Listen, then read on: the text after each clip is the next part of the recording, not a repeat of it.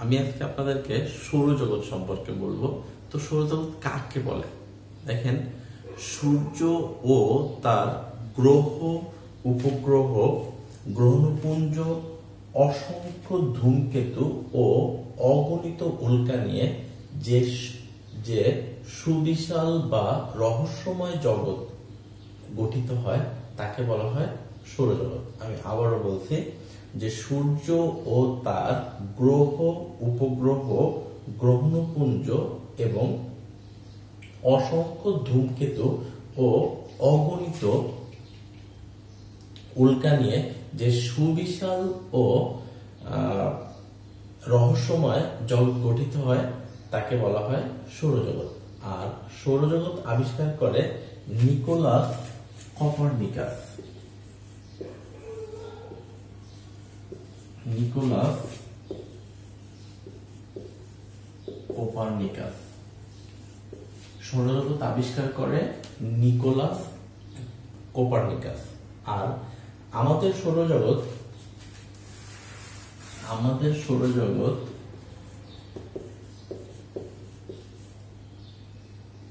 Milky milky way অর্থাৎ এটা ছায়াপথ গ্যালাক্সিতে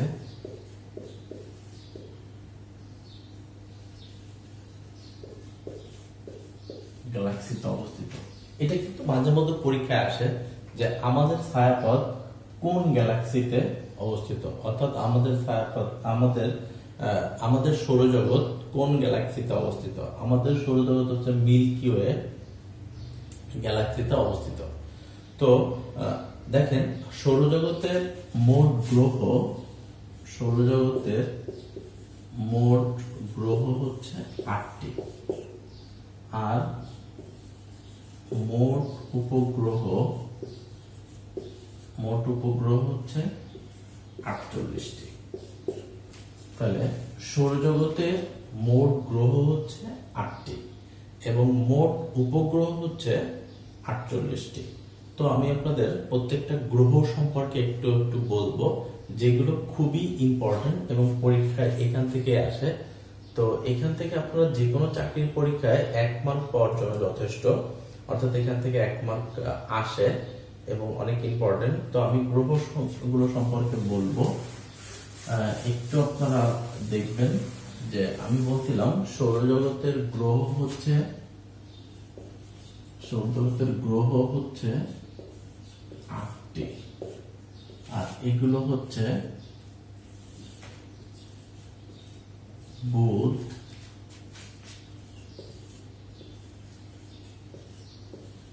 শুক্র তিন নম্বর হচ্ছে, বুধ শুক্র পৃথিবী। চার নম্বর হচ্ছে, মঙ্গল।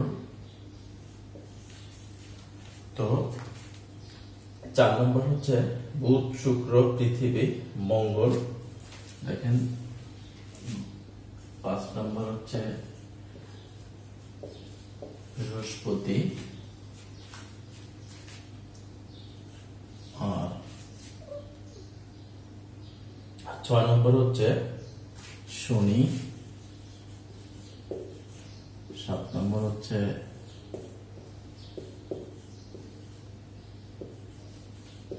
ইউরেনাস, আট নম্বর হচ্ছে নেপচুন। তো আসলে আমি এটা লেখার কারণ হচ্ছে যে দেখেন, বুধ, শুক্র, পৃথিবী, মঙ্গল পাঁচ নম্বর হচ্ছে বৃহস্পতি, শনি, ইউরেনাস, নেপচুন। তো একটু খেয়াল করেন, আমি একদম সূর্যের পর পর যে গ্রহগুলো আছে, সেই গ্রহগুলোই আমি বলছি। দেখেন, এখানে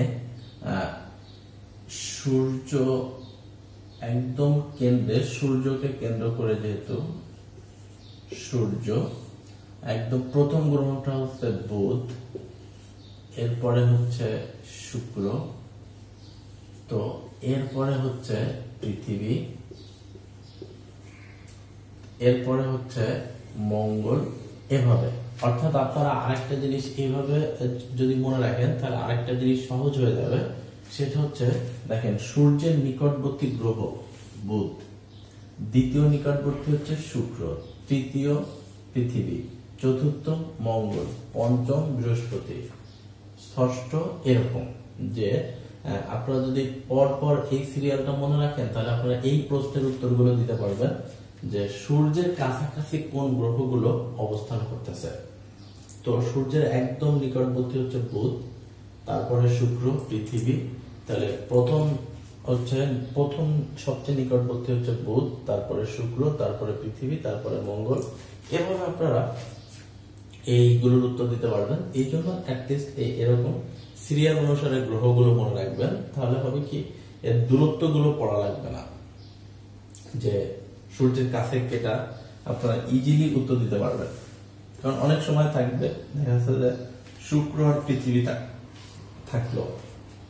বলল যে সূর্যের নিকটবর্তী সবচেয়ে মানে কে? তাহলে দেখেন এখানে কিন্তু উত্তর হবে শুক্র। সেখানে কিন্তু বুধ অপশনে থাকবে না।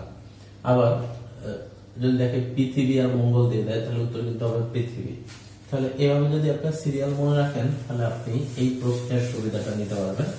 অর্থাৎ সূর্যের কাছাকাছি কোন গ্রহ অবস্থিত, এই মানে সুবিধাটা আপনি নিতে পারবেন। দেখেন আসলে আমরা আসব বুধ সম্পর্কে, অর্থাৎ প্রথম গ্রহ বুধ সম্পর্কে। তো বুধের ইংলিশ নাম হচ্ছে মার্কিউরি এই ইংলিশ নামটাও কিন্তু আসে। বুধের ইংলিশ নাম হচ্ছে মার্কিউরি। আর মনে রাখবেন, এর উপগ্রহ নেই। এর বুধের উপগ্রহ নেই। আর এটি হচ্ছে সৌরজগতের প্রথম দ্রুত ও ক্ষুদ্রতম গ্রহ। এটি হচ্ছে সৌরজগতের একদম প্রথম দ্রুত ও ক্ষুদ্রতম গ্রহ। তাহলে এটি হচ্ছে সৌরজগতের প্রথম দ্রুত ও ক্ষুদ্রতম গ্রহ। দেখেন এখান থেকে পরীক্ষায় আসতে পারে যে প্রথম গ্রহ কোনটা। তাহলে প্রথম গ্রহ হচ্ছে কোনটা? বুধ। সবচেয়ে দ্রুততম গ্রহ, সবচেয়ে দ্রুততম গ্রহ হচ্ছে বুধ। সবচেয়ে ক্ষুদ্রতম সবচেয়ে ক্ষুদ্রতম হচ্ছে বুধ। উপগ্রহ নাই কোন গ্রহের? উপগ্রহের উপগ্রহ নাই হচ্ছে বুধের। তো আরেকটা লাইন মনে রাখবেন যে এটি সূর্যের খুব কাছাকাছি, এটি সূর্যের খুব কাছাকাছি অবস্থান করে এই জন্য তাপমাত্রা অনেক বেশি। এটি সূর্যের খুব কাছাকাছি অবস্থান করে এই জন্য এর তাপমাত্রা অনেক বেশি। আর বুধ গ্রহটি সূর্যকে, বুধ গ্রহটি সূর্যকে অষ্টাশি দিনে অষ্টাশি দিনে একবার আবর্তন করে। বুধ গ্রহটি অষ্টাশি দিনে সূর্যকে একবার আবর্তন করে।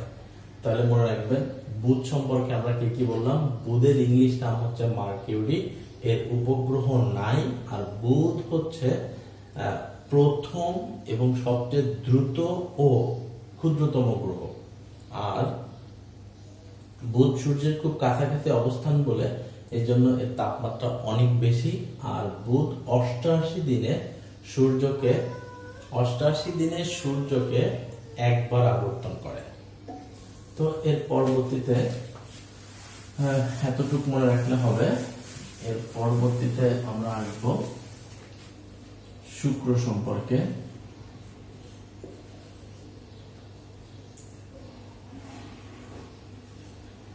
শুক্র দ্বিতীয়টা, অর্থাৎ সৌরজগতের দ্বিতীয় গ্রহ, তো শুক্রের ইংলিশ নাম হচ্ছে ভেনাস শুক্রের ইংলিশ নাম হচ্ছে ভেনাস আর এটারও উপগ্রহ নেই। তাহলে শুক্রের ইংলিশ নাম হচ্ছে ভেনাস আর এটারও উপগ্রহ নেই। আর এখান থেকে একটা প্রশ্ন প্রায় আসে। এটি হচ্ছে পৃথিবীর পৃথিবীর খুব নিকটতম গ্রহ। দেখেন, একটা জিনিস আপনারা ভুল করেন, সেটা হচ্ছে সূর্যের নিকটতম বললে বুধ। আর যদি বলে পৃথিবীর নিকটতম, তাহলে পৃথিবীর নিকটতম হলে শুক্র। তাহলে সূর্যের নিকটতম হলে বুধ আর পৃথিবীর নিকটতম হলে শুক্র। আর শুক্র গ্রহের নিজস্ব কোনো আলো নেই। শুক্র গ্রহের নিজস্ব কোনো আলো নেই। শুক্র গ্রহের নিজস্ব কোনো আলো নেই। আর শুক্র গ্রহকে পৃথিবীর বোন হিসাবে ধরা হয়। মানে শুক্র গ্রহকে বলা হয় পৃথিবীর বোন, অর্থাৎ ভাই বোন তো সেই ভাই বোনের বোন হিসাবে ধরা হয়। কারণ এই পৃথিবীর গাঠনিক উপাদান বা আচার আচরণ এই শুক্রের শুক্রের গাঠনিক উপাদান এবং আচার আচরণের সাথে অনেকটা মিল রয়েছে বা অনেকটা মিলে যায়। এই জন্য বলা হয় শুক্র হচ্ছে পৃথিবীর বোন। কারণ এর উপাদান এবং আচার আচরণ প্রায় দেখা যায় যে একই রকম মিল। তো পৃথিবীর আকাশে এটি যদি উদিত হয়, অর্থাৎ পৃথিবীর আকাশে যদি সূর্য উদিত হয়, তাহলে এটাকে বলা হয়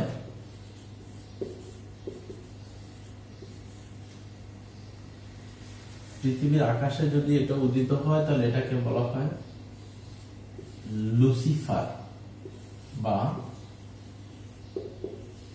শয়তান। দেখেন, এটাকে যদি পৃথিবীর আকাশে কখনো উদিত হয়, তাহলে এটাকে বলা হয় লুসিফার বা শয়তান নামে ডাকা হয়। আর এটি যদি দেখেন, আমরা যদি এটিকে দেখি যে এটা সকালে উদিত হয়েছে, তাহলে এটা শুক্র গ্রহে যদি সকালে উদিত হয়, সকালে উদিত হলে একে ডাকা হয় সুক্তা। যদি সন্ধ্যায় সন্ধ্যায় উদিত হলে একে বলা হয় সন্ধ্যা তারা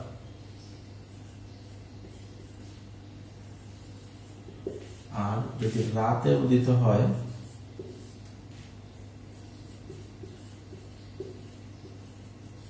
রাতে উদিত হলে একে বলা হয় ধ্রুব তারা তাহলে আমরা বলতেই পারি যে শুক্র গ্রহের তিনটা নাম, একটা হচ্ছে সুখ তারা, যেটা হচ্ছে সকালে দেখা যায়, একটা হচ্ছে সন্ধ্যা তারা, যেটা সন্ধ্যায় দেখা যায়, আর একটা হচ্ছে ধ্রুব তারা যেটা রাতে দেখা যায়। আর শুক্র গ্রহটি শুক্র গ্রহটি দুইশো পঁচিশ দিনে শুক্র গ্রহটি দুইশো পঁচিশ দিনে সূর্যকে একবার আবর্তন করে। তাহলে মনে রাখবেন যে শুক্র গ্রহের ইংলিশ নাম হচ্ছে ভেনাস, এর কোনো উপগ্রহ নাই, আর এটি পৃথিবীর সবচেয়ে নিকটতম গ্রহ, আর শুক্র গ্রহকে পৃথিবীর বোন বলা হয়, কারণ পৃথিবীর গঠন, আচার আচরণ, এর সাথে শুক্র গ্রহের গঠন এবং আচার আচরণ কিছুটা মিল পাওয়া যায়। আর এটি যদি পৃথিবীর আকাশে কখনো উদিত হয়, তাহলে এটাকে বলা হয় লুসিফার বা শয়তান নামে ডাকা হয়, আর সকালে উঠলে সুখ তারা সন্ধ্যায় উঠলে সন্ধ্যা তারা আর রাতে উঠলে ধ্রুব তারা হিসাবে ডাকা হয়। এরপরে তিন নাম্বার গ্রহ, অর্থাৎ আমরা যেখানে বাস করি, আমরা পৃথিবী সম্পর্কে বলব। পৃথিবী, এর ইংলিশ নাম হচ্ছে আর্থ। আর এর উপগ্রহ উপগ্রহ হচ্ছে একটি, যেটা হচ্ছে চাঁদ। তাহলে পৃথিবীর উপগ্রহ হচ্ছে একটি, এটা হচ্ছে চাঁদ। আর এই পৃথিবীকে পৃথিবীকে বিশ্ব বা নীল গ্রহ বলে মানে কখনো কখনো পৃথিবীকে বিশ্ব বা নীল গ্রহ বলা হয়। আর এই পৃথিবীকে যদি চাঁদ একবার প্রদক্ষিণ করে মানে পুরা পৃথিবীকে চাঁদের ঘুরে আসতে সময় লাগে। এটাও কিন্তু মাঝে মাঝে পরীক্ষা আসে যে পৃথিবীকে এই চাঁদের ঘুরে আসতে সময় লাগে সাড়ে উনত্রিশ বছর। এটা কিন্তু মনে রাখবেন যে পৃথিবীকে একবার ঘুরে আসতে চাঁদের সময় লাগে সাড়ে উনত্রিশ বছর। আর চাঁদে, এই চাঁদে শান্ত সাগর বিদ্যমান। এই প্রশ্নটাও কিন্তু আসে মাঝে মাঝে যে শান্ত সাগর কোথায় বিদ্যমান? শান্ত সাগর হচ্ছে চাঁদে বিদ্যমান। আর এই পৃথিবী সূর্যকে পৃথিবী সূর্যকে তিনশো পঁয়ষট্টি দিন পৃথিবী সূর্যকে তিনশো পঁয়ষট্টি দিন পাঁচ ঘণ্টা আটচল্লিশ মিনিট সাতচল্লিশ সেকেন্ডে একবার প্রদক্ষিণ করে। তাহলে পৃথিবী সূর্যকে পৃথিবী সূর্যকে তিনশো পঁয়ষট্টি দিন পাঁচ ঘণ্টা আটচল্লিশ মিনিট সাতচল্লিশ সেকেন্ডে একবার আবর্তন করে। আর আরেকটু মনে রাখবেন যে পৃথিবীর ব্যাস হচ্ছে বারো হাজার ছয়শো সাতষট্টি। এটা মাঝে মাঝে আসে। পৃথিবীর ব্যাস হচ্ছে বারো হাজার ছয়শো সাতষট্টি কিলোমিটার। এটাও মাঝে মাঝে আসে যে পৃথিবীর ব্যাস কত? পৃথিবীর ব্যাস হচ্ছে বারো হাজার ছয়শো সাতষট্টি কিলোমিটার। তো এবার আসব আমরা মঙ্গল সম্পর্কে।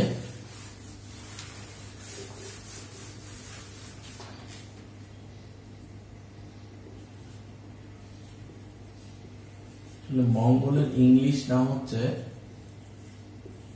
মার্স। মঙ্গলের ইংলিশ নাম হচ্ছে মার্স। আর এর উপগ্রহ উপগ্রহ দুইটা। একটা হচ্ছে ডিমোস আর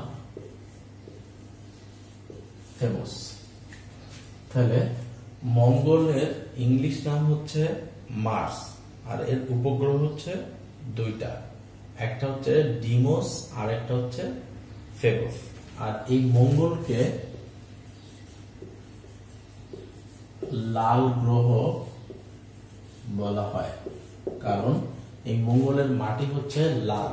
এজন্য একে লাল গ্রহ বলা হয়। আর মঙ্গল মঙ্গল ছয়শো সাতাশি দিনে সূর্যকে একবার প্রদক্ষিণ করে। মঙ্গল ছয়শো সাতাশি দিনে সূর্যকে একবার প্রদক্ষিণ করে। তাহলে মঙ্গলের ইংলিশ নাম হচ্ছে মার্স, আর এই উপগ্রহ হচ্ছে দুইটা, একটা হচ্ছে ডিমোস, আর একটা হচ্ছে ফেবস আর মঙ্গলকে লাল গ্রহ বলা হয়। আর মঙ্গল ছয়শো সাতাশি দিনে সূর্যকে একবার প্রদক্ষিণ করে। নেক্সট আমরা বলব বৃহস্পতি।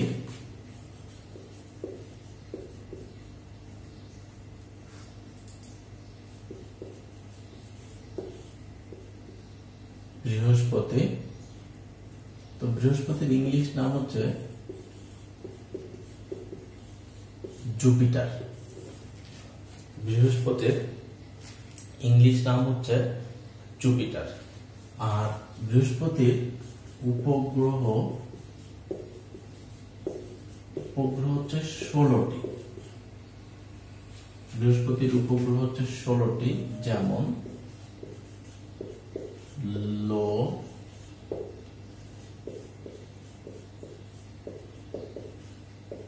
ইউরোপা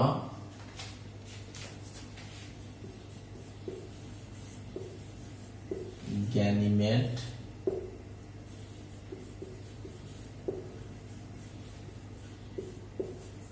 ক্যালিস্ট্রো প্রধান। মানে জাস্ট পরীক্ষায় থেকেই আসবে যে যদি আসে যে বৃহস্পতি, এর উপগ্রহ হচ্ছে কয়টা? ষোলোটা, যেমন লো ইউরোপা গ্যানিমেট ক্যালিস্টো এখান থেকে আসে বেশিরভাগ। তো একটু মনে রাখবেন আর এটি হচ্ছে সৌরজগতের সর্ববৃহৎ। এই বৃহস্পতি হচ্ছে সৌরজগতের সর্ব, সর্ববৃহৎ গ্রহ। তাহলে সৌরজগতের সর্ববৃহৎ বা সবচেয়ে বড় গ্রহ কোনটি? সৌরজগতের সর্ববৃহৎ গ্রহ হচ্ছে বৃহস্পতি। আর এটি বারো বছরে এটি বারো বছরে সূর্যকে একবার আবর্তন করে বা এটি বৃহস্পতি বারো বছরে সূর্যকে একবার প্রদক্ষিণ করে। তাহলে বৃহস্পতির ইংলিশ নাম হচ্ছে জুপিটার আর এর উপগ্রহ হচ্ছে ষোলোটি, যেমন লো, ইউরোপা গ্যানিমেড ক্যালিস্টো, এগুলো প্রধান। আর এর বৃহস্পতি হচ্ছে সর্ববৃহৎ গ্রহ আর এটি হচ্ছে বারো বছরে একবার সূর্যকে প্রদক্ষিণ করে। এরপর হচ্ছে নেক্সট আমরা বলব সিক্স নাম্বার শনি। তো শনি ইংলিশ নাম হচ্ছে সার্টান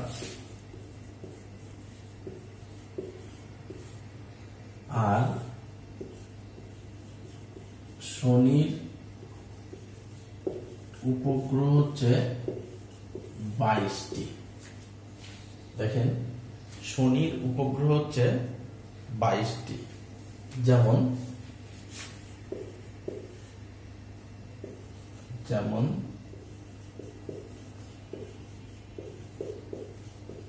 ক্যাপিটাস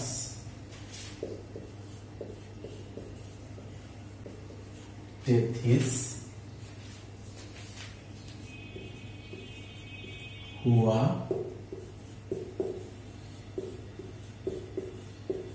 টাইটান প্রধান। এগুলো থেকে আসে।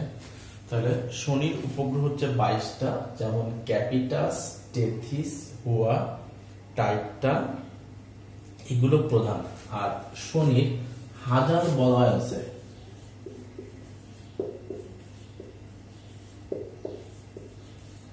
অনেক সময় পরীক্ষা আসে কোন গ্রহের হাজার বলয় আছে। অর্থাৎ শনি গ্রহের হাজার বলয় আছে। আর শনি হচ্ছে দ্বিতীয় বৃহত্তম গ্রহ। যদি এভাবে পরীক্ষা আসে, তাহলে হাজার বলয় আছে কার? শনির। আর শনি হচ্ছে দ্বিতীয় বৃহত্তম গ্রহ। এটুকু মনে রাখবেন, অনেক সময় আসে পরীক্ষায় যে প্রথম বৃহত্তম হচ্ছে কে? বৃহস্পতি। তাহলে দ্বিতীয় বৃহত্তম কে? শনি। তো এটি হচ্ছে উনত্রিশ বছর পাঁচ মাসে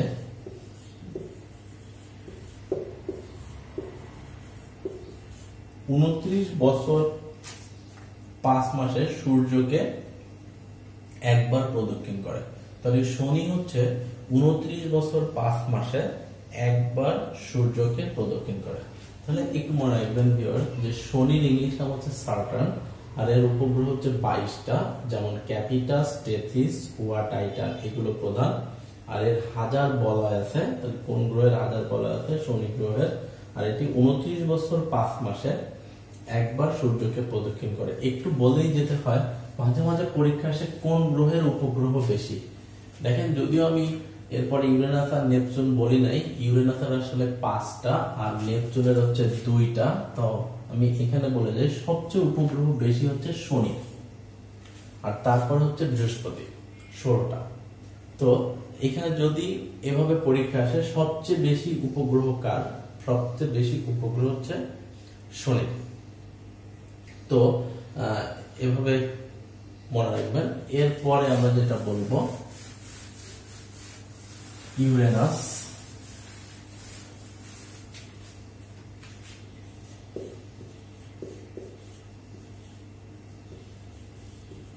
ইউরেনাস এর ইংলিশ নাম ইউরেনাসি আর এর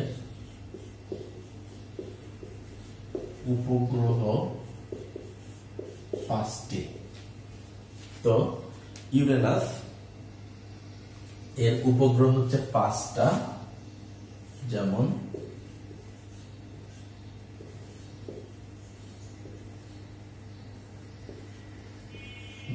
মিরিন্ডা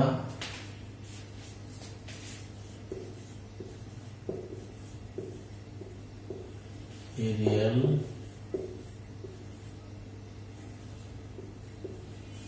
যেমন মিরিন্ডা এরিয়েল যেমন Miranda Ariel Oberon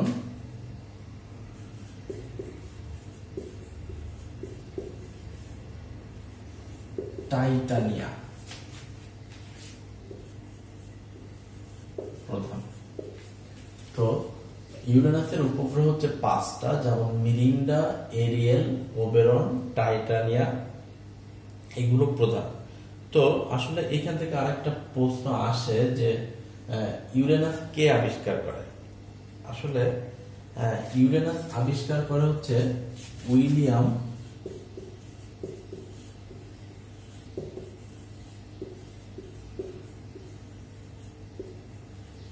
William Herschel. তো উইলিয়াম হার্সেল সতেরোশো একাশি সালে ইউরেনাস আবিষ্কার করে।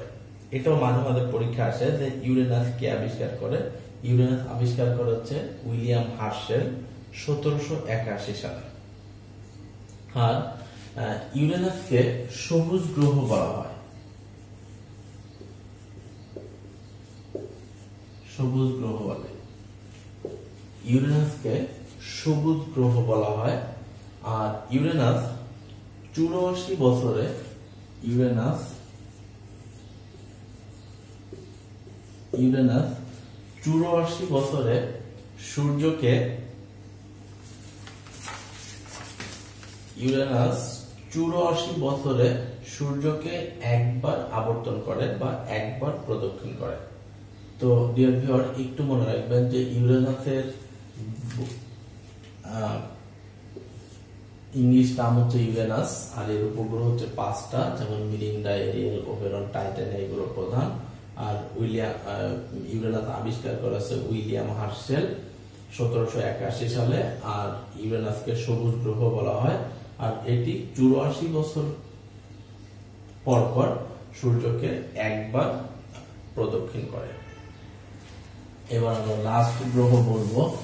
নেপচুন সম্পর্কে।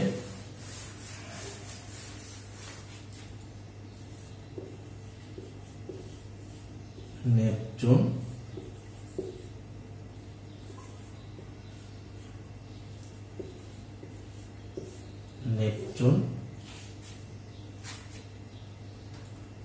তো নেপচুনের উপগ্রহ হচ্ছে দুইটা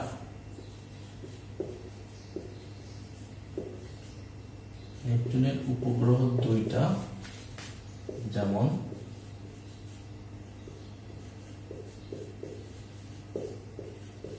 ট্রাইটন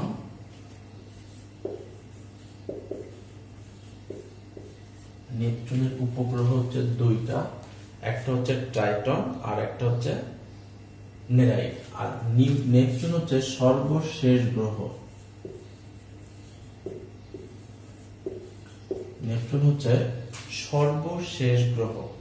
আর সূর্যের থেকে সবচেয়ে দূরবর্তী গ্রহ কে? নেপচুন আর এটি একশো পঁয়ষট্টি বছরে সূর্যকে এটি একশো পঁয়ষট্টি বছরে সূর্যকে একবার প্রদক্ষিণ করে। মানে একশো পঁয়ষট্টি বছর পর পর সূর্যকে একবার প্রদক্ষিণ করে। তাহলে নেপচুন হচ্ছে, নেপচুন এর ইংলিশ নাম হচ্ছে নেপচুন, আর এর উপগ্রহ হচ্ছে দুইটা, একটা হচ্ছে ট্রাইটন আর একটা হচ্ছে নেরাইট। আর এতে নেপচুন হচ্ছে সর্বশেষ গ্রহ, আর নেপচুন সূর্য থেকে সবচেয়ে দূরে, এটাও আসতে পারে, সবচেয়ে সূর্য থেকে সবচেয়ে দূরের গ্রহ কোনটা? নেপচুন। আর এটি একশো পঁয়ষট্টি বছর পর পর সূর্যকে একবার প্রদক্ষিণ করে। তো এই হচ্ছে আমাদের আটটা গ্রহ সম্পর্কে মোটামুটি ধারণা, যেগুলো পরীক্ষায় আসে। তো আর একটু মনে রাখবেন আরও কয়েকটা কথা একটু মনে রাখতে হবে। প্লুটো গ্রহ থেকে বাদ পড়ে কত সালে? এটা কিন্তু আসে। আহ, মানে প্লুটো গ্রহ থেকে বাদ পড়ে হচ্ছে চব্বিশে অগস্ট টু প্লুটো গ্রহ থেকে বাদ পড়ে চব্বিশে আগস্ট টু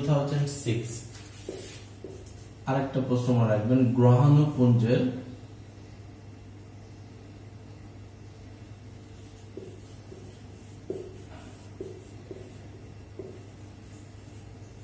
গ্রহাণুপুঞ্জের অবস্থান এটা এটাও আছে। গ্রহাণুপুঞ্জের অবস্থান মঙ্গল ও বৃহস্পতির মাঝে।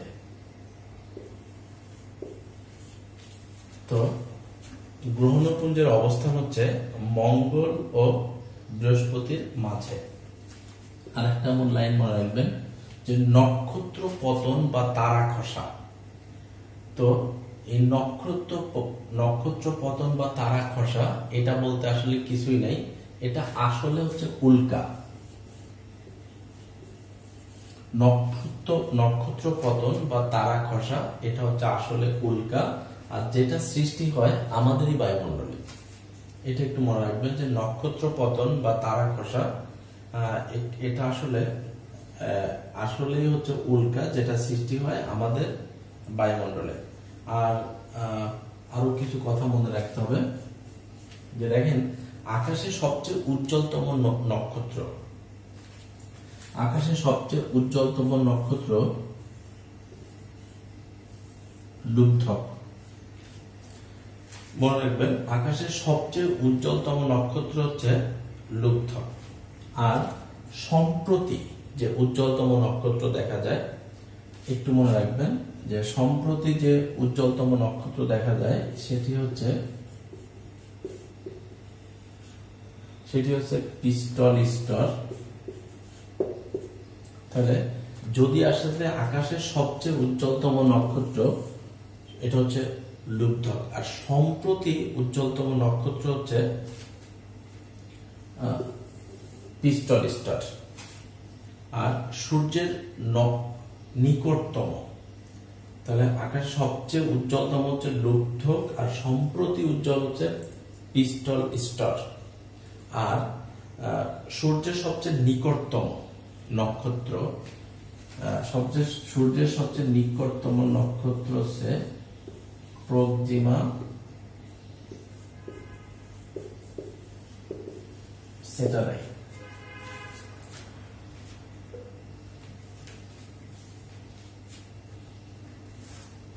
সেন্টারাই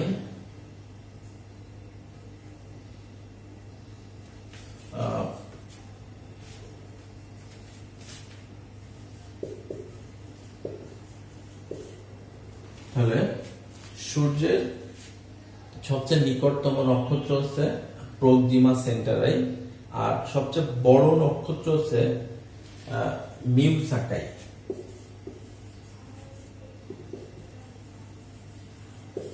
তাহলে সূর্যের সবচেয়ে নিকটতম নক্ষত্র হচ্ছে প্রক্সিমা সেন্টারাই। আর বড় নক্ষত্র হচ্ছে মিউসাকাই আর ভারী নক্ষত্র। রাখবেন ভারী নক্ষত্র। তাহলে ভারী নক্ষত্র হচ্ছে ইটা ক্যারিনি ইটা ইটা ক্যারিনি তাহলে, সূর্যের সবচেয়ে নিকটতম নক্ষত্র হচ্ছে প্রক্সিমা সেন্টারাই, আর বড় নক্ষত্র হচ্ছে মিউ সাকাই, আর ভারী নক্ষত্র হচ্ছে ইটা ক্যারিনি আর একটু মনে রাখবেন, দেখেন। আমি সৌরজগতের সংজ্ঞা আগেই দিছি। তো সৌরজগৎ সৌরজগৎ আর কতগুলো সৌরজগৎ মিলে তৈরি হয়?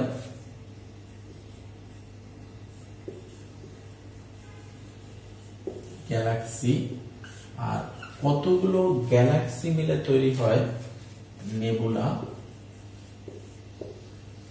আর কতগুলো নেবুলা মিলে তৈরি হয়? মহাবিশ্ব। তাহলে সৌরজগতের সঙ্গে আমি আগেই দিছি তাহলে কতগুলো সৌরজগৎ মিলে তৈরি হয় গ্যালাক্সি আর কতগুলো গ্যালাক্সি মিলে তৈরি হয় নেবুলা আর কতগুলো নেবুলা মিলে তৈরি হয় মহাবিশ্ব।